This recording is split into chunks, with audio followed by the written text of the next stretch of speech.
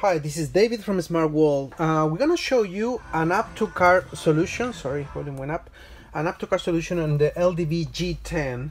Uh, so with this device, you can install apps. You can install uh, any apps from Google Play Store, and also you have wireless CarPlay and wireless Android Auto available as well.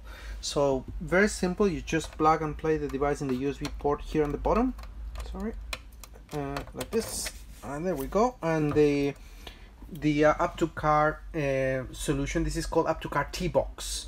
Is an android 9 solution. And the beauty of this uh, product is um, you can also has use uh, sim card and um, available. So if you don't want to hook your mobile phone with your hotspot you can have a sim card there installed all the time with all the apps you you you need in your g10 um, so many apps uh, especially if you have a fleet car you can install apps like GPS navigation or TPMS or ODB2, anything you want. So from here, what you do is you go to mobile link and click on CarPlay once it's installed and you will have the product there available.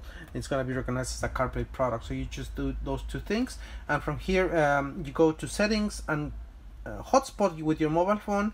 Uh, it's already installed with mine.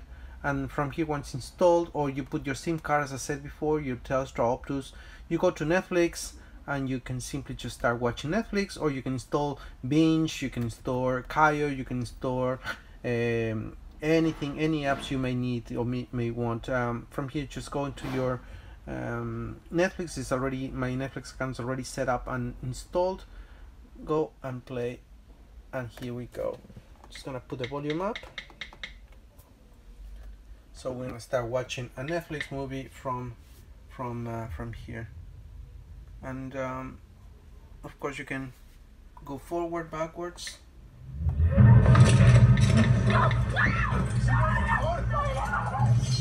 There we go. So we're gonna stop there.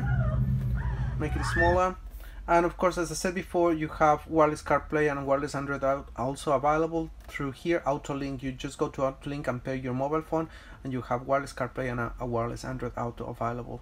So this is a great solution. Is the app to car T-Box um, with Android 9 version, so fully compatible with the G10 LDV. If you want to find more about solutions for the LDV, uh, subscribe to this channel or go to www.smartworldcompany.com.